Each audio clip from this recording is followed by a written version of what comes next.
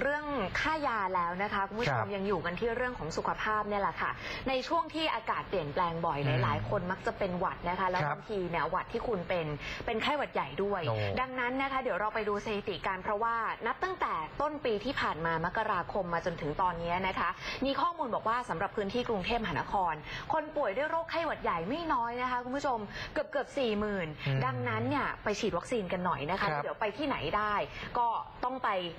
เรียกว่าเอ่อไปดูแลเตรียมความพร้อมของร่างกายเอาไว้ โดยเฉพาะอย่างยิ่งกลุ่มของเด็กอืมหรือว่าผู้สูงอายุนะคะ ไปดูรายละเอียดเรื่องนี้กันค่ะ ทางกรุงเทพมหานครตอนนี้เนี่ยเตรียมวัคซีนเอาไว้แล้วนะคะ3 0 0แสนโดส แล้วก็ฟรีด้วยค่ะพลตำรวจเอกอัศวินขวัญเมืองผู้ว่าราชการกรุงเทพมหานคร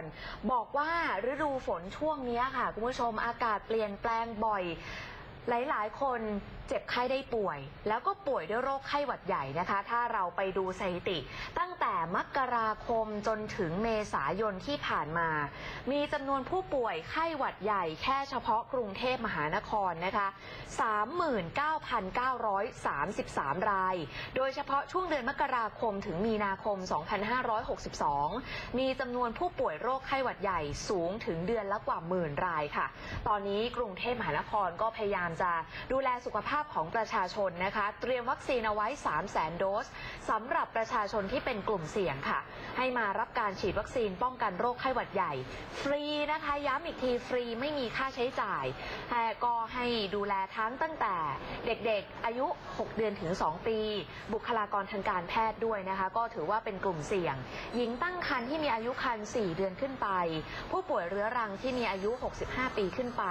ผู้ที่มีภูมิคุ้มกันบกพร่อง แล้วก็คนที่มีน้ำหนักตัวมากกว่า 100 กิโลกรัมนะคะ ซึ่งสามารถเดินทางไปรับบริการฉีดวัคซีนป้องกันโรคไข้หวัดใหญ่ได้ ที่ศูนย์บริการสาธารณสุขสำนักอนามัยกรุงเทพมหานคร ทั้ง 68 แห่งทั่วกรุงเทพเลยนะคะ รวมไปถึงโรงพยาบาลในสังกัดกรุงเทพมหานคร และโรงพยาบาลของรัฐทั่วประเทศด้วยค่ะ